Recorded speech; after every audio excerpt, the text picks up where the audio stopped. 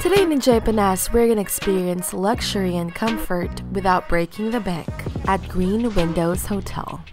Welcome to Green Windows Hotel. So Green Windows Hotel started operations around December of 2010. Our rooms cater to the reviewees of a review center at the same building in FTC Tower. In a span of 8 years, from 18 rooms, we have expanded into 88 rooms. Highlights of Green Windows Hotel are the luxury budget hotel rooms.